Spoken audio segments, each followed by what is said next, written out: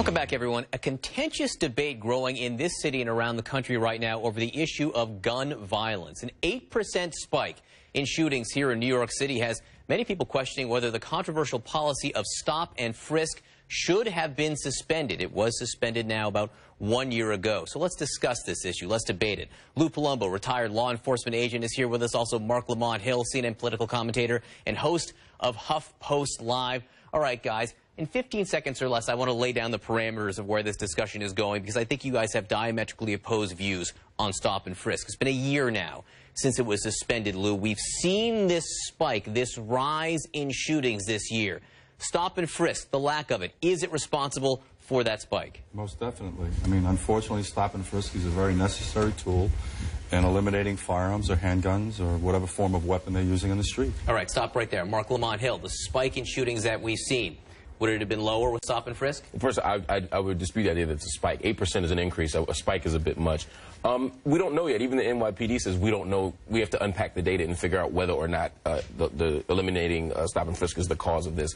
I know in 2013 there was a 50% decrease in stop and frisk policies and a 25% drop drop in crime. And no one was saying, oh, stop and frisk, getting rid of stop and frisk is working. So I think there are a variety of factors we have to consider here. So, Mark, uh, Lou, what about that? The numbers Mark's talking about here, we have seen an 8% rise, maybe, maybe not a spike, but a rise in shootings. Still, the second lowest number of shootings, I think, you know, on record here in the city. It, you know, if the question is, is there a correlation between the increase in shootings and the abandonment of the stop and frisk policy, the answer unequivocally is yes. It takes a little bit of time until... That's based on what? Based on what? It, it's based on experience, and I'm going to re make reference specifically for you, Mark. When Bill Bratton first came into his uh, job as police commissioner approximately 20 years ago, we had over 2,200 homicides in this city every year. Stop and frisk was one of the most effective tools that was implemented. We reduced the homicides to approximately 500. You cannot arbitrate that, Mark. That is a statistical truth. It takes a little bit of time until it filters through the street that the police are in the hands-off mode. And that's why there's a little bit of lag time that occurs between 2013 and present time and why suddenly the increase is starting to take effect. The simple truth of the, of the matter is, is that the individuals that carry out these acts with firearms realize now that the police have been instructed to lay off. They have no fear or reticence about carrying weapons. Before, when they implemented the stop and frisk, stop, question, and frisk, they realized that there was a high likelihood that they were going to be found out if they were to carry weapons. Well, okay, so first, there wasn't a high likelihood. 89% of the time when they pulled, when they stopped someone and frisked them, they, they, they, they were found innocent of, of, of, everything, right? Not just guns, but also drugs and other activity.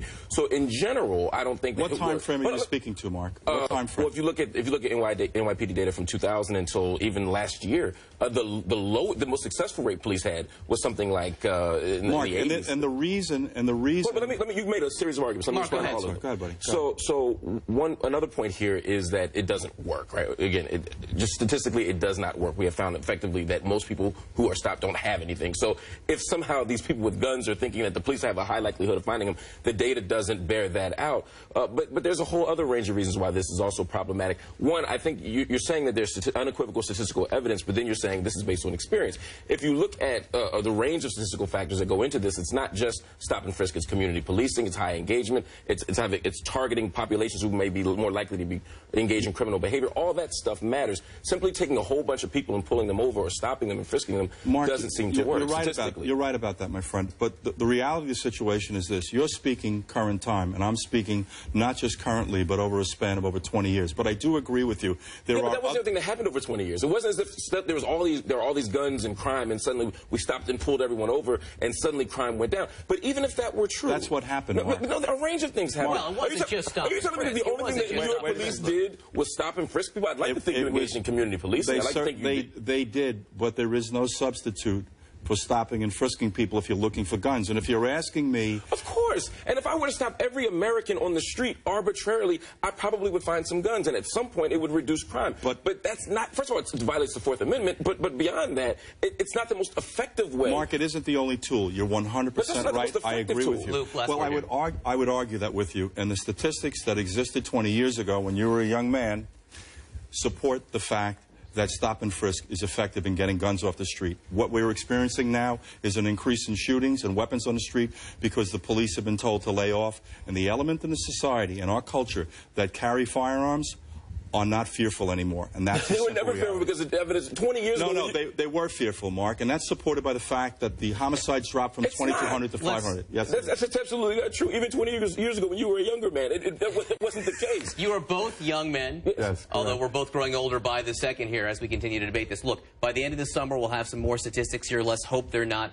bad statistics, one way or the other. But we'll keep watching this. The police say they're watching it. They're putting 400 cops on the street, taking them behind the de- out from behind the desk, put them on the street. Hopefully, that will do something in and of itself. Thanks, guys. We'll see. Kate. Kevin?